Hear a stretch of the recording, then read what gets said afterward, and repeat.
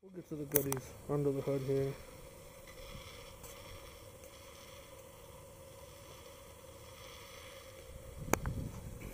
First off, I want to point out here's my engine bay.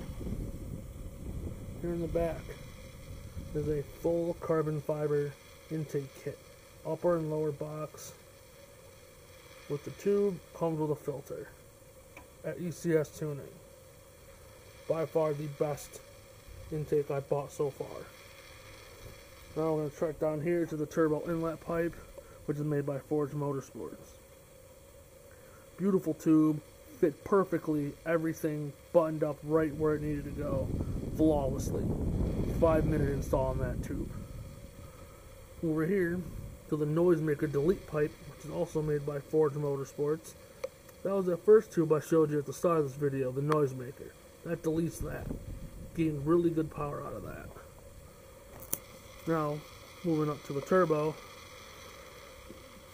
My downpipe here, that's my by ATP Turbo.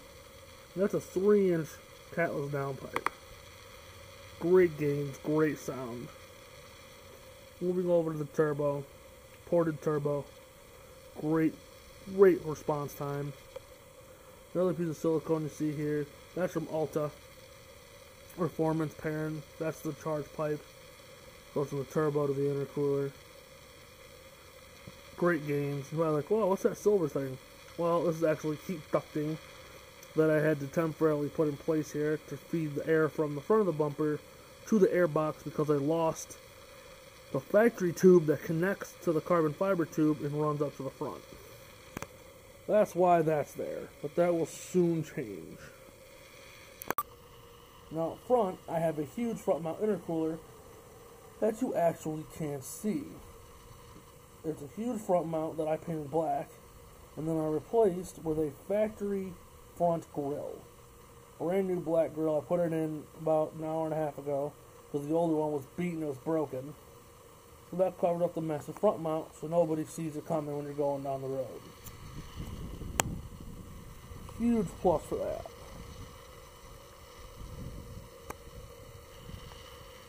Fantastic. Oh, and one other thing. The cross-drilled and slotted rear rotors are also from ECS Tuning. We also have them for the front. They have them for the JCWs and non-JCWs as well. Huge variety. Check them out. I'll leave a link in the description down below where you can click on the link, go to their website, check out the parts. Again, I'm not sponsored by them and neither is this video. I just love ECS Tuning parts and the customer service. And I want to get it out there. Here's a couple of cinematic shots.